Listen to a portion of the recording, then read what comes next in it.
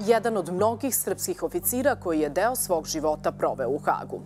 Ali jedan od redkih koji je dobio ublaženu kaznu, jer je po mišljenju tužilaštva za ratne zločine postupio vojnički i ljudski ispravno i spasio 7000 vojnika armije Bosne i Hercegovine u Srebrenici i Žepi. U Vojsci Republike Srpske obavljao je dužnost komadanta Zvorničke brigade angažovane na gotovo svim ratištima širom bivše Jugoslavije. Posle Dejtonskog sporazuma i zvaničnog kraja rata obavljao je dužnost zamenika načelnika generalštaba Vojske Republike Srpske nakon smene generala Ratka Mladića. U aprilu 2005. godine predao se Međunarodnom krivičnom sudu za Jugoslaviju, koji je protiv njega podneo optužnicu.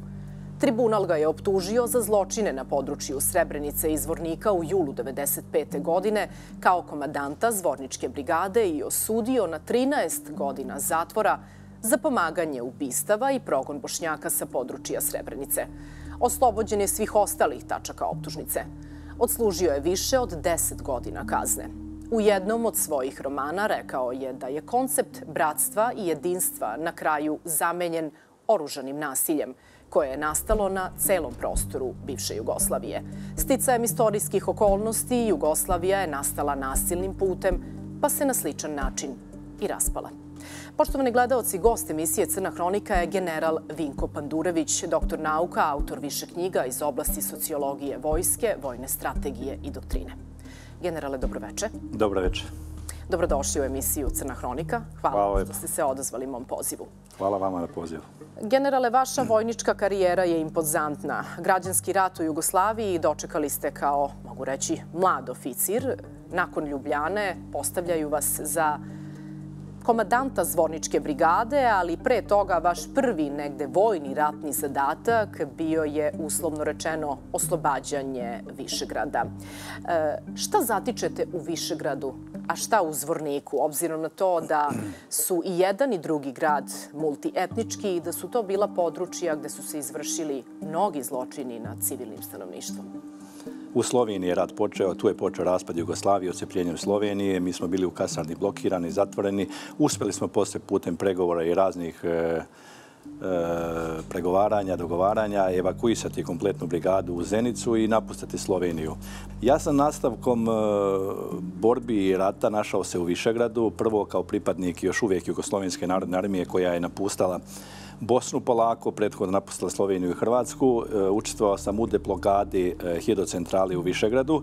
Spasili smo vojno skladište, sprečili smo e, sukobe u Višegradu i Višegrad je E, počeo da živi normalnim životom. Svi vojnici, odnosno civili koji su bili napustili grad, vratili se i Srbi i muslimani, živjeli su zajedno sve do 18. maja kada je JNA napustala Bosnu, kada smo se mi povukli. Onda je ponovo nastupila polarizacija između muslimana i Srba. Svako se povukao u svoja sela, formirala se linija, dodira linija sukoba i ja sam 1. juna se vratio nazad u Višegrad i postao sam komandant Višegradske brigade, a kasnije komandant taktičke grupe za Gornje Podrinje, tu je bilo pet brigada, dosta značajan prostor e, u geografskom i topografskom smislu vrlo težak za izvođenje borbi, ali sam u decembru mjesecu iste godine zbog potreba i važnosti zvornika prebačen u zvornik i postane za komandanta zvorničke brigade. Kako doživljavate početak kraja Jugoslovenske narodne armije, četvrte armije u svetu, za koju ste se školovali, gde ste između ostalog istasali i verovali u ideju njene moći? Pa to je poznata izreka četvrte ili šest armije u svetu, manje više, ali sa ove distance i posle svih iskustava stvarno mogu reći da je to bila dobra vojska, dobro organizovana, dobra spremna, naoružana, opremljena, samo nimalo unutrašnje jedinstvo na političkom vrhu koju je trebalo davati ton kako ta vojska da izgleda i kako da se upotrebi u ratu. Ja sam doživeo traumatično raspad Jugoslavije jer u Ljubljani sam počeo kao mladi potporučnik eh, gdje sam došao da živim, da radim. Doživljavao sam Sloveniju kao moju zemlju.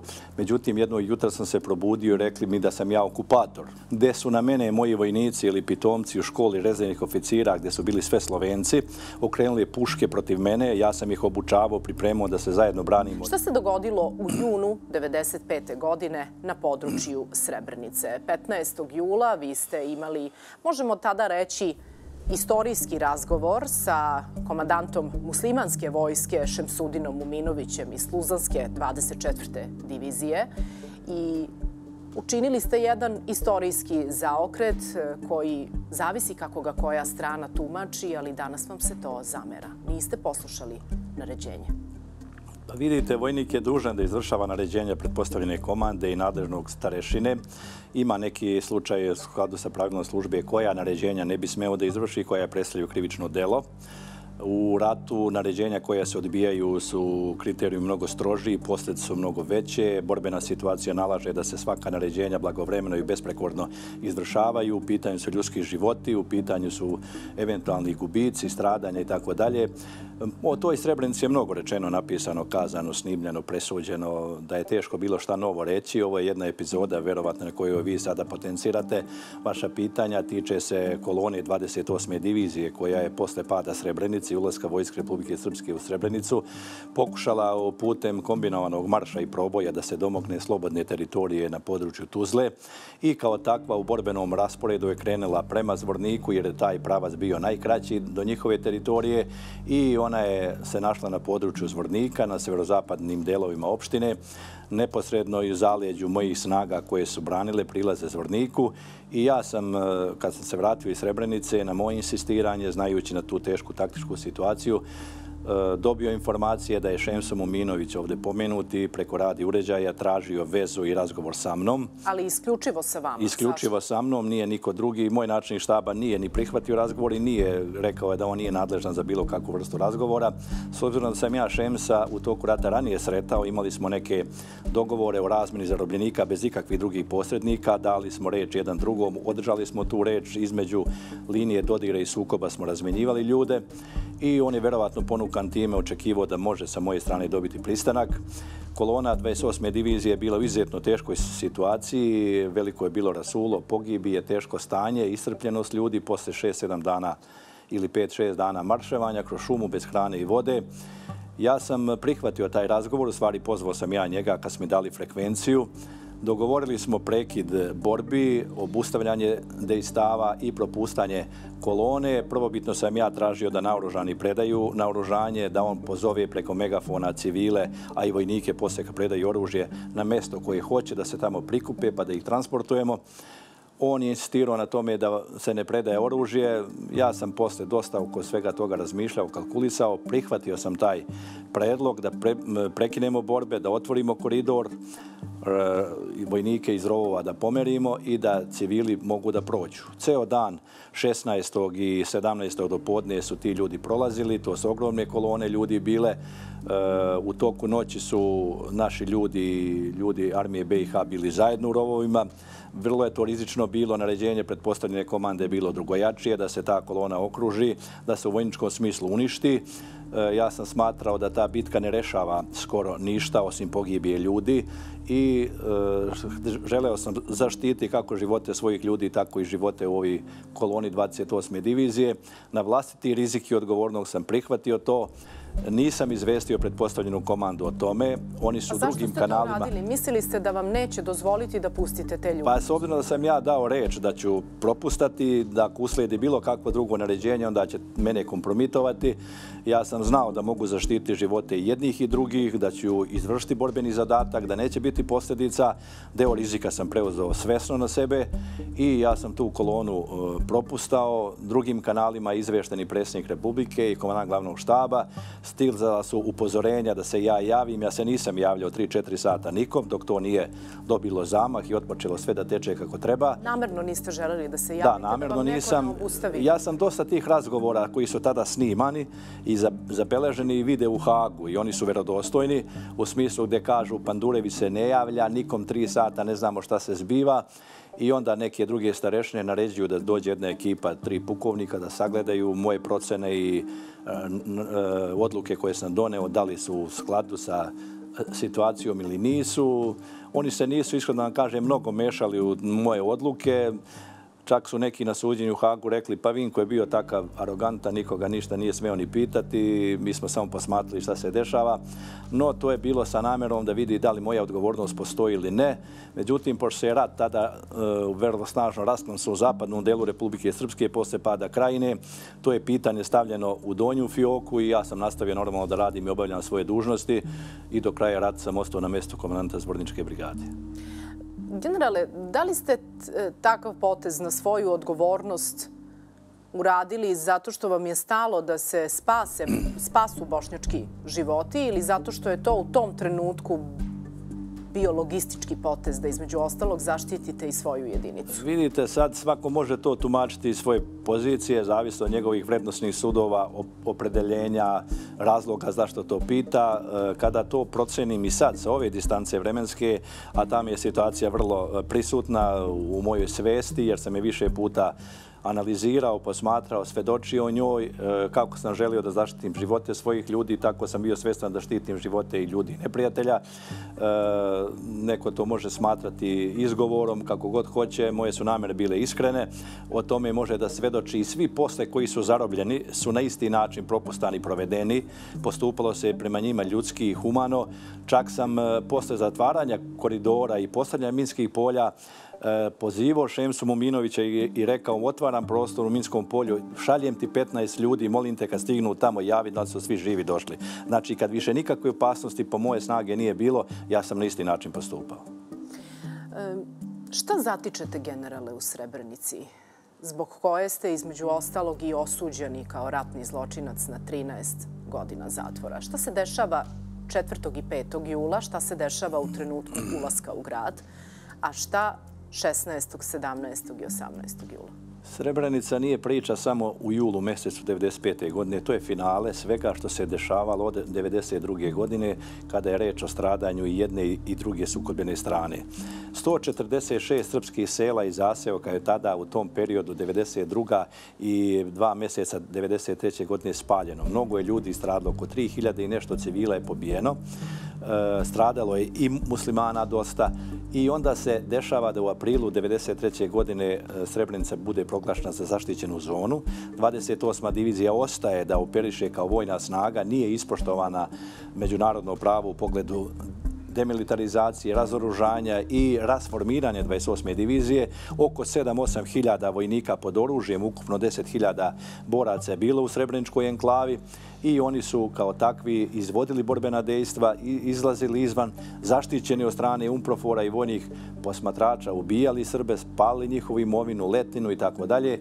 I onda je e, već kad je usledila e, muslimanska ofanziva za deblokadu Sarajeva, pokuša izlaska na, na Romaniju, spajanja sa Podrinjem, E, ove snage iz Srebrenice su pokušale sadejstovati njima i mi smo bili prinuđeni da e, početkom jula izvedemo jednu operaciju ograničenog karaktera, da suzimo enklave Srebrenicu i Žepu, da ih razdvojimo, da se spreči komunikacija između tih enklava, izazak vojnika 28. divizije izvan enklave i mi smo od 6. pa do 9. uspešno uz neke njihove protivnapade i obostrane gubitke uspeli izvršiti zadatak i onda je 9. jula stiglo naređenje da se uđe u Srebrenicu, da se potpuno enklava kao takva eliminiše, ali to nije značilo ubistva, progone i tako dalje i to je tako sve bilo.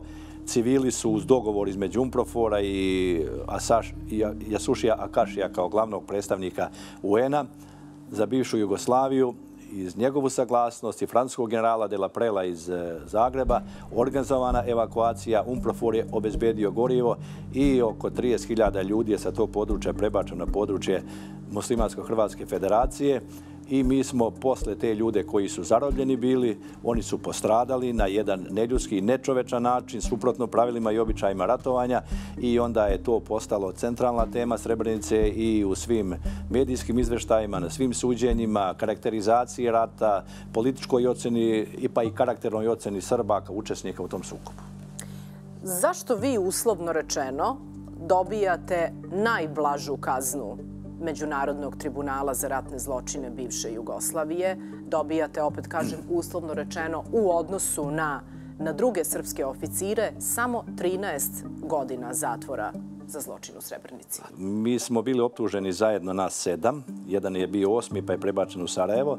Optužnica je bila oko 80-90 strana. Najteža je optužnica bila protiv mene jer sam bio optužen po individualnoj i komandnoj odgovornosti i ja sam se odlučio braniti činjenicama, stvarnim stanjem stvari na osnovu dokumentata, sećanja, svedočenja drugih ljudi. I moja presuda je temeljena 90% na mom svedočenju uz neka pravna tumačenja sudija da su rekli da sam ja hteo da sebe zaštitim, da umanjim svoju odgovornost.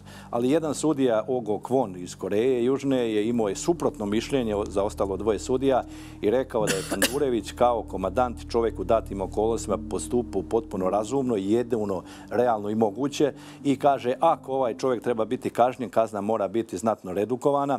Slušajući obrazloženje, e, otpale su e, optužbe da sam počinio genocid, udruženje, da sam se udružio radi počinjenja genocida, da nisam član udruženog zločinačkog poduhvata, nego da sam kao komadant propusto da nekoga sprečim ili osudim ako je počinio krivično delo. Ta kazna, ja je smatram za mene da je previsoka, e, i da li sam uopšte trebao da budem osuđen, veliko pitanje i uvijek se pitam za to, ali e, ne izbegavam odgovornost apsolutno ni tada ni sada. E, ja sam prihvatio sve to, e, nije lako sedeti tamo četiri i po godine i slušati raznorazna svedočenja i lažna i stvarna, jer e, same stvari po sebi koje se desile su toliko grozne da im ne treba ništa dodavati i onda ako vas stave u kontekst tako lošeg stanja i sad dođe tu 50 studenta koji to posmatraju sa galerije, vrlo je neprijatno sediti tu, tužilac govori sve i svašta, ukazuje na vas kao najveće monstrume ovoga sveta. Generale, e, u kom trenutku vam postaje jasno da je kraj vaše vojničke karijere i da je kraj nekog normalnog porodičnog života, da ćete morati da se predate Haškom tribunalu i da napustite porodični stan u Beogradu, da napustite porodicu i da u nekom momentu odete u ilegalu? E, pretpostavljao sam ja da može optužnica da se desi s obzirom na istrage koje su vođene, s obzirom na sve ono što se zbivalo tamo, na status Haškog tribunala, na odnos tužilaštva prema zločinima, prema Srbima, prema komadantima. I to je sve do negde 99. godine, 2000. koliko toliko bilo normalno. Ja sam normalno radio, funkcionisao. Onda jednog trenutka se počinje pronositi glasine da postoji tajna optužnica, stižu neki signali od strane tužilaštva da stupe u kontakt i razgovor sa mnom, da vide da li bi ja želeo se predam, da li da izađem na taj sud dobrovoljno. To je bilo vreme kad se još nije znalo u celosti šta se zbiva, kad nije bilo ni poznata dobra politika tužilaštva, ni sve ono e, šta će to da e, znači. Ja sam odlučio da malo sačekam. Imao sam e, još uvijek, hvala Bogu, imam dva sina blizanca tada koji su imali e, dve, dve i pol godine. E, znao sam da toj deci treba otac na bilo koji način da bude prisutan i onda sam polako čekao, odogovlačio sa tim odlukom, ali sam bio svestan da se sa sudom moram suočiti pre ili posle. I e, kad je optužnica e, obznanjena da je javna, ja sam tad sećan se išao da registrujem auto, to sam auto preko radija slušao da je, da je optužnica javno saopštena ja sam odlučio e, da neki način svoje aktivnosti smanjim, da se ne krećem na javnim mestima, da se neki način pritajim. To je trajalo možda jedno šest meseci, posle su već te prismotre i potere i potrage postale intenzivnije. Nešto sam ozbiljnije e, se ponašao i boravio na različitim lokacijama, povremeno viđao porodicu, možda na svaki 20 ili mjesec dana. E već kad je to postalo besmisleno, kad sam već mogu i deci da kažem, imali su pet godina, E, otprilike koliko oni to mogu razumeti i shvatiti, odlučio sam da kontaktiram vladu Republike Srbije i da u onoj ustaljnoj proceduri e, se prijavim i nađem se u Haškom tribunalu. To je bilo 24. marta 2005. godine. Kažete da u Haškom tribunalu, tačnije u zatvoru u Ševeningenu, počinje jedna drugačija etapa života. 22 dana iznosili ste svoju odbranu, u potpunosti ste bili pripremljeni, ali ste i na specifičan način u tom Ševeningenu provodili svoje dane. E, čak je bilo najavljeno i vaše ubijstvo. Naser Orić, komadant e, vojske armije Bosne i Hercegovine, je najavljivao da tog dana kada vi stupite u holandski zatvor, da će vas lično on ubiti. U kakvim ste odnosima bili sa njim? Koga ste tamo viđali? Pa svi ljudi tamo koji su bili pre moga dolaska su pratili vesti i mediji, onda se najavi dolazi neko novi, svako na svoj način prokomentariše o Srbi na svoj način, muslimani na svoj. Nasar imao verovatno neki poseban razlog, on je već bio tamo. On je izjavljivo kako se ja njemu pobio porodicu, kako sam počinio zločin ovakav onakav, da će on mene dubije kad se ja tu pojavim. Ja normalno nisam znao za to ništa, ja njega ranije nisam poznavao, nikad se nismo lično sreli. Bili smo puškom, što se kaže, jedan protiv drugog. E, on nije vojnik, nije ni policajac u pravom smislu reči, on je bio tako jedan od tih izrastlih ljudi, što bi se reklo, među njima i možda nad meni spremni da preuzme funkcije koje je preuzeo. Međutim, naš prvi kontakt i upoznavanje je bilo normalno kao sa svim ostalim. On me pitao, ljudski se pozdravio, posle smo zajedno išli na vežbanja neka i on meni kaže, pošto je vidio dokumentaciju sa kojom smo mi raspolagali u toku rata, pa kaže, vi ste to kao vojnici pravi, prave komande radili. Mi smo bili improvizacija i imali smo jedan korektan ljudski odnos. Nikad nismo uh, se vraćali na te ratne teme da bi možda se tu javila zla krv. Mi smo tamo funkcionisali kao u Titovoj Jugoslaviji. Samo je falila Titova slika jer smo imali drugog šefa. Nismo se mi pitali ni za što ali jedina je razlika što smo mogli pevati pesmu koju hoćemo, što smo mogli interpretirati istoriju onako kako smo mi to videli, za razliku od onoga vremena komunizma kad je to partija diktirala kako treba da se radi. I tu je bilo ljudi različitih struktura, od običnih kriminalaca, od e, vojnika, komandarata, generala, ministara, premijera, predsjednika. Međusobno smo pomagali jedni drugima u pogledu e, predmeta, dokumentacije, u pogledu druženja porodica naših kad dođu u posetu tamo da pomognu jedni u toj stranoj zemlji drugima. I svako je u svojoj ćeli bistrio istoriju i svoje učešće.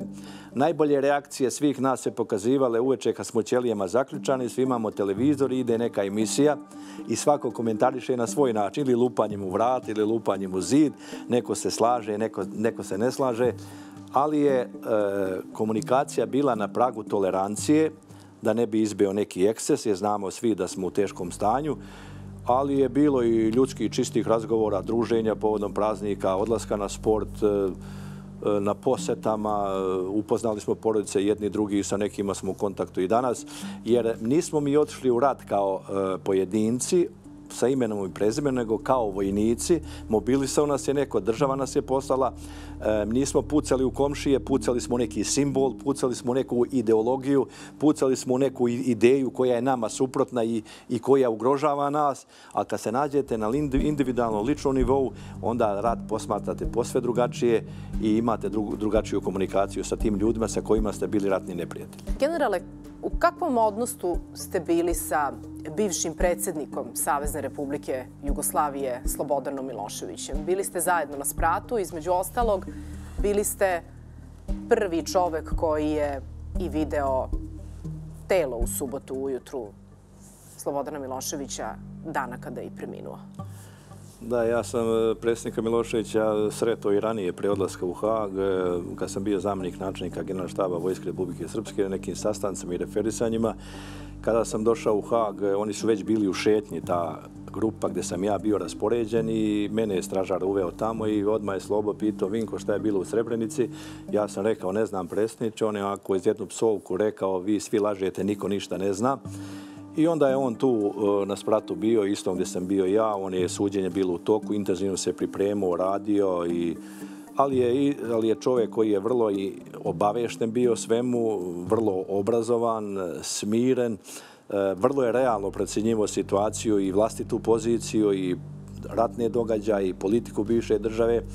Vidi se da je imao elemente državnika izuzetno izražene i on je preuzeo dosta odgovornosti na sebe on nije e, previše vremena provodio, što se kaže, u zajedničkoj prostoriji, jer je ili na suđenju ili je na pripremi za ispitivanje svedoka. Na sport išao redko, u šetnju išao redovno, onda bi se najviše na šetnji sretali. Mislim da on bio potpuno svestan e, šta sve može da se desi na kraju krajeva i te jedne subote kada je otvaranje Ćelija u 9 sati po rasporedu dnevnih aktivnosti išli smo na sport. Vrlo mali broj nas je otišao na sport, ostali su bili zaključani pošto stražari idu sa nama. I kad smo se vratili u 10 sati, stražar je otvorio moju ćeliju, preko puta je bila slobina, otključio je njegovu ćeliju i malo zastao i mene je povukao za ruku, kaže dođi da pogledaš, ja sam video čovjek leži na krevetu, ovako me desna ruka pala malo preko kreveta, ćebe do pola pokriven, pogledamo puls, konstatujemo da je čovjek mrtav, onda sam brzo zaključali i posle usledila ta njihova istraga, odnosno uviđaj i znali smo šta se je zbilo i to je bilo to. Mi smo posle objavili čitolju politici, svi koji smo tu bili, potpisali su se. Bila je knjiga utisaka i sveća ispred njegove ćelije, posle kad je telo odatle izneseno. Mislim, moji utisci taj godinu i nešto dana zajednički provedenih tamo su manje više pozitivni. E, on nije pokazivao nikakvu aroganciju niti prezir prema bilo kome. Imao je dobru komunikaciju sa svim ljudima koji su bili tamo. Od uprave zatvorske ništa nije zahtevo ni tražio. Nije molio nikog ni, ni na šta. Ponašao se kao da sedi na dedinju u smislu ja od vas ne očekujem ništa, ne očekujete ni vi od mene svoju sudbinicu rešavati sam. Kako je reagovala regionalna javnost u trenutku kada ste svi zajedno izdali zajedničku čitulju na kojoj se između ostalog našlo ime generala Ante Gotovine? Pa i Gotovina je bio sama na spratu, na istom tom e, krilu i kad se desi tako nešto, svim imamo određenu dozu empatije i onda je to posle prevedeno da je to čisto hrišćanski gest kada su u Zagrebu neki počeli da napadaju gotovinu zašto je to učinio. To je, mislim, da, to je bio opšti skandal. jeste, u tome je ga i crkva podržala posle. Ali mi smo pratili te medije, pogotovo tad je u Haškom tribunalu se mnogo pisalo i kad je hapšen gotovina i kad su neka suđenja u toku. I znali smo na koji način to percepira Sarajevo muslimansko, na koji način to Zagreb posmatra. U suštini, to naše funkcionisanje i život tamo bio je samo u funkciji e, opstanka, izlaska iz tog prostora, spašavanja žive glave, a ne da smo mi sad popravljali istoriju ili, ili smo kovali budućnost novu. Ali istorijski trenutak se dogodio generale u vašoj karijeri 97. godine kada Iako možda to ne želite, ali negde izvršavanjem e, komande ulazite u sukob sa generalom Ratkom Mladićem. U tom trenutku on mora biti smenjen, a vi po naredbi, da li domaćoj ili inostranoj, to možda vi bolje znate od mene, morate biti postavljeni na njegovo mesto.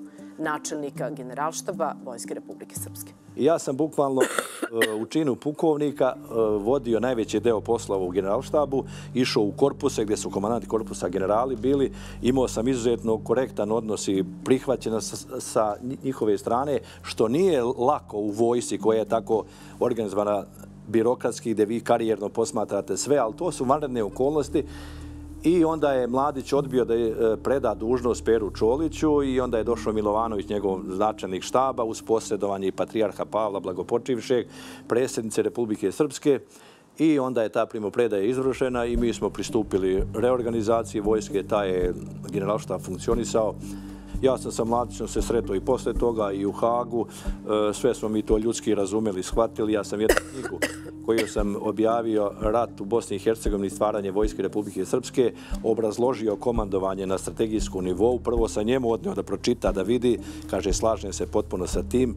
Ja sam rekao, vi ste, gospodine generale, bili e, profesionalni vojnik, obrazovan, stručan vojnik, izuzetno hrabar, ali ste malo sistem zapostavili, više ste sami rešavali sve nego što je trebao sistem da radi kao takav.